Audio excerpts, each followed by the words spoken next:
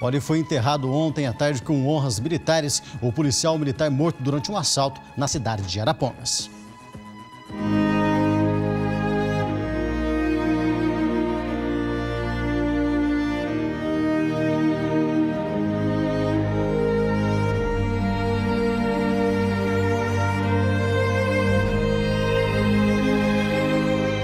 Milhares de pessoas acompanharam o sepultamento do policial militar Nivaldo Ferreira, que tinha 44 anos de idade, morto durante um assalto na cidade de Arapongas. O crime aconteceu na tarde da última quinta-feira e chocou a população de toda a região.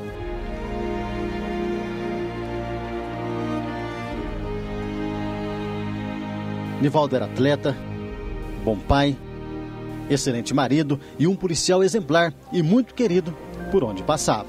Ele como diz a Bíblia, combateu o bom combate. Né?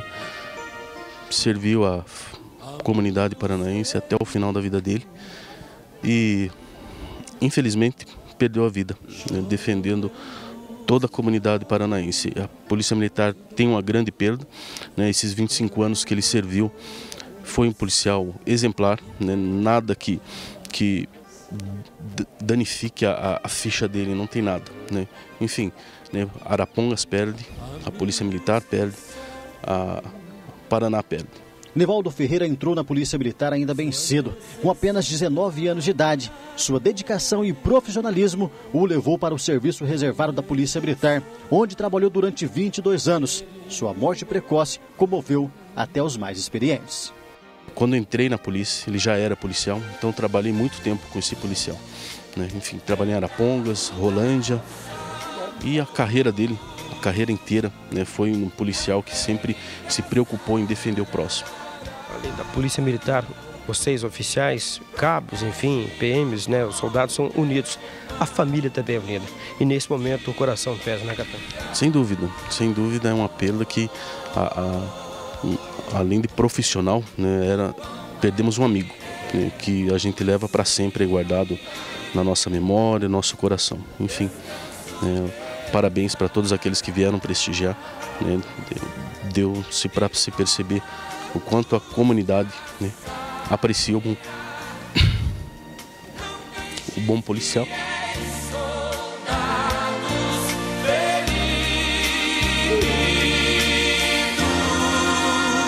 Nivaldo deixou esposa e dois filhos. Um homem de poucas palavras, mas de grandes atitudes. Nosso amigo e irmão se foi bem cedo, mas deixou um legado a ser seguido.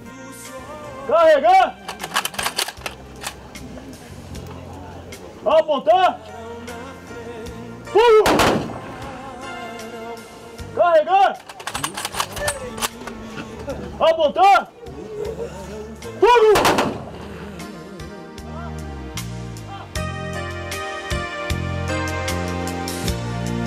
Mas por esse esforço Satã intentou suas vidas matar.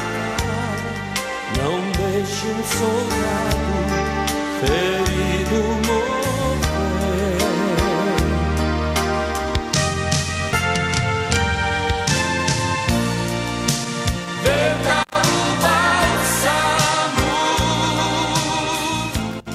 Que Deus conforte o coração dessa família que perdeu uma pessoa muito querida e dá para ver ali no sepultamento, no enterro do Nivaldo, que ele realmente é uma pessoa muito respeitada e muito querida por todos os moradores de Rolândia, onde ele trabalhava e também da cidade de Arapongas. Foram milhares de pessoas que estiveram no velório, no sepultamento desse pai de família que morreu nas mãos de criminosos na última quinta-feira.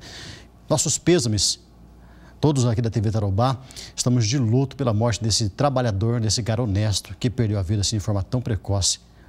No momento ali de pagar uma conta, foi vítima de assalto. Na verdade, foram assaltar o estabelecimento comercial que ele estava e acabaram executando o Nivaldo Ferreira. 44 anos de idade, 25 deles na corporação da Polícia Militar.